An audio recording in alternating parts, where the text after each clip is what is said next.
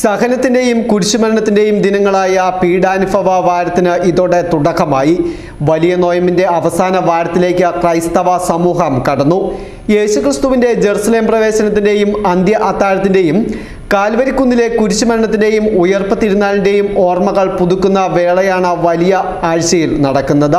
യേശുക്രിസ്തുവിനെ യഹൂദജനം രാജകീയ പദവികളോടെ olive ഇലകളേന്തി Jerusalem നഗരത്തിലേക്ക് വരവേറ്റതിന്റെ അനുസ്മരണമാണ് ഓശാന ഞായറിലെ തിരുക്കർമ്മങ്ങളിൽ നടക്കുന്നത്.